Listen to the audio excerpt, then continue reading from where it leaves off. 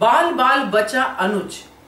नमस्कार दोस्तों, स्वागत है आपका आपके अपने चैनल हंग्री स्पिरिट्स में। हंग्री स्पिरिट्स देख रहे सारे दर्शकों का। मैं अंजू शर्मा दिल से स्वागत करती हूँ। वैसे तो मालती देवी हाथ धो के अनुज के पीछे पड़ी हुई है, मगर अनुज इस बार दोस्तों बाल बाल बचे हैं। तो आपने खुद भी महसूस किया होगा कि कैसे अनुज बचे हैं, किस हालात से अनुज निकले हैं और आज अनुपमा ने भी अनुज का साथ दिया है। चलिए बात करते हैं पहले वही निवेदन जिन्होंने अभी तक चैनल को सब्सक्राइब नहीं किया है। कर लीजिए, साथ में दोस्तों बेल आइकॉन दबाइएगा ताकि आपको हमारे वीडियोस के नोटिफिकेशन मिलते रहे।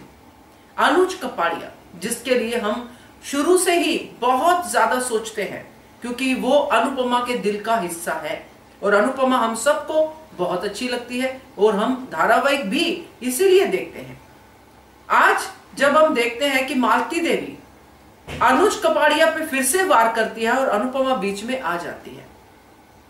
सवाल यह भी उठता है, जिसका जवाब बहुत बार मैं दे भी चुकी हूँ, अंदाज़ा लगा चुकी हूँ, कि आखिर क्यों? जो मालती देवी है, अनुज को अनुपमा की नज़रों से गिराना चाहती है। यह भी सवाल उठता है। और फिर जवाब वही है कि मालती देवी के साथ कुछ तो ऐसा हुआ है जो अनुज से रिलेटेड है, जो कहानी मैं पहले भी आपको सुना चुकी है। अब इसमें और भी कुछ ऐड हो सकता है। मैंने तो कहा था कि मालती देवी की बेटी होगी, मगर हो सकता है कि मालती देवी का बेटा भी हो, क्योंकि एक ऐसा कम्युनिटी है जिसको अभी तक इस धारावाहिक ने टच नहीं किया है, जो है ट्रांसजेंडर्स तो हो सकता है उस तरह का कुछ एंगल हो, अभी मुझे कुछ पता नहीं है बट ये लगता है। खैर, ये तो वक्त आने पे पता चलेगा ही। मगर फ़िलहाल के लिए, कैसे बच गया अनुज बाल बाल अनुज ने जितना अपने आप को कंट्रोल किया है ना दोस्तों, इस समय जब छोटी रो रही थी, चिल्ला रही थी, बीमार थी बार बार गिर रही थी मम्मी मम्मी बोल रही थी, और अनुज, अनुपमा को फ़ोन करने नहीं दे रहा था और ना ही कर रहा था, क्योंकि जो आज हुआ है, वही अनुज को उसी चीज़ का अंदाज़ा पहले से था। अब आप लोग कहोगे कि छोटी को कुछ हो जाता तो तो ऐसा नहीं होता।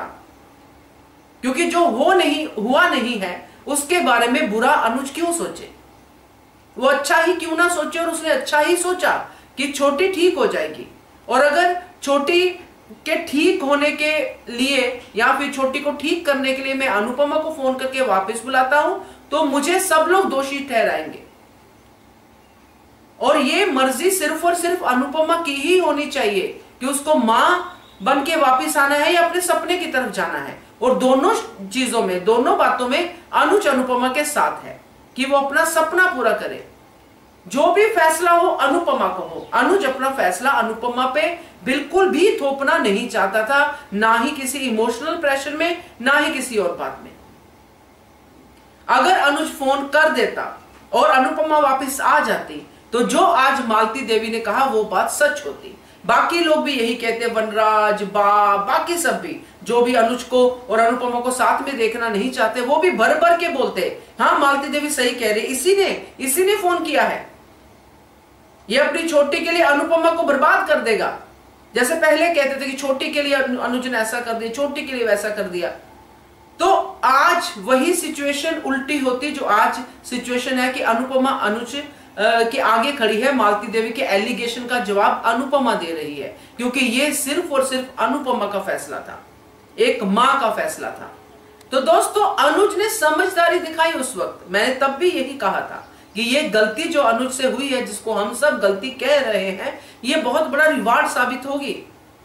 क्योंकि कहीं ना कहीं अनुज अनुपमा को जानता है कि अनुपमा के अंदर जो माँ है, जो ममता है, वो अपनी छोटी को ऐसे नहीं छोड़ सकती। जबकि वो खुद चाहता था कि अनुपमा अपना सपना पूरा करे, मैं छोटी को संभाल लूँगा। और जब हालात थोड़े ठीक होते तो संभालना भी जाता।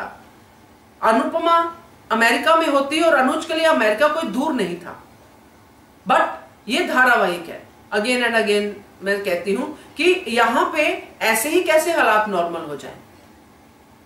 तो अब जो हुआ है आज के एपिसोड में, उससे यही बनता है कि ये जो एलिगेशन आज मालती देवी लगा रही है, फिर से अनुज को कटकरे में खड़ा कर रही है। ये तो मालती देवी की पर्सनल खुंदक है ही, जिसके बारे में हम बात कर चुके हैं, जो वक्त आने पर सामने आएगी, क्योंकि वो हमेशा अनुपमा को यही कहती आई है, पहली मीटिंग से लेके आज की मीटिंग तक, कि तुम्हारे रास्ते का रोड़ा ये अनुज है। अनुज का क्या इंप्रेशन मालती देवी पे है, वो तो मालती देवी वक्त आने पे बताएगी, मगर जो भी इंप्रेशन है, बहुत ही बुरा है। ऐसा लगता है कि मालती देवी ने थप्पड़ अनुपमा के नहीं, अनुज के मुँह पे मारा है। तो ये जो मालती देवी का घृणात्मक चेहरा है अनुज के लिए, इसका तो राज खुलेगा ही खुलेगा।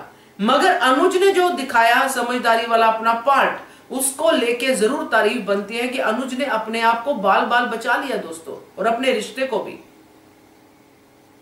तो ये मुझे अच्छा लगा, ये पार्ट, क्योंकि इसमें अनुज की जितनी तारीफ़ करो, उतनी ही कम है। आप क्या कहते हो इसके बारे में कमेंट कीजिएगा देखते रहिए channel Hungry Spirits thank you so much Subscribe to our channel by clicking the subscribe button. Click the bell button and enjoy the latest uploads from our channel.